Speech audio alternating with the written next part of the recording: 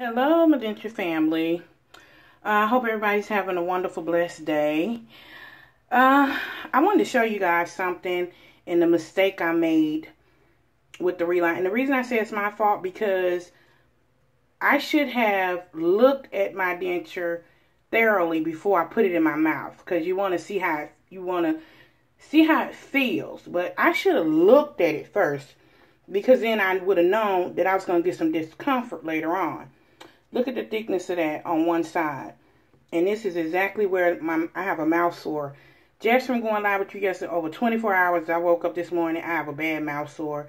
It hurts and it's kind of ugly too. Like I got a, a toothache or where you have a tooth pull and you have that hole. That's what it feels like. I do go in tomorrow to get corrections. And look how the front line of that, how thin that is.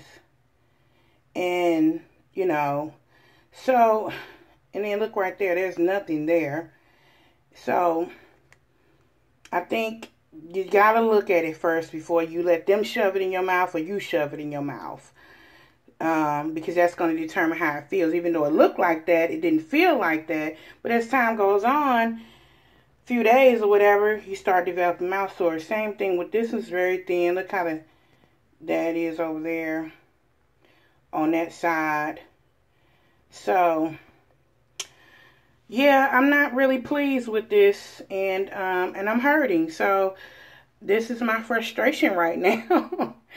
and I'm still, you know, of course, I'm gonna remain positive that it's gonna get corrected, but it doesn't mean that I'm not ticked off about it, cause I don't like being set back, you know, as far as my mouth sores and stuff like that, you know. Um, so yeah, that I don't even know if I should just have them add more or take it out and redo it.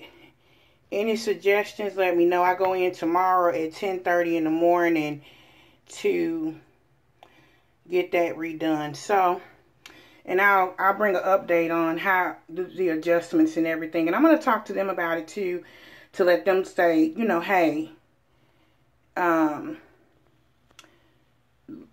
you know, you guys need to look at it before you shove it in my mouth too.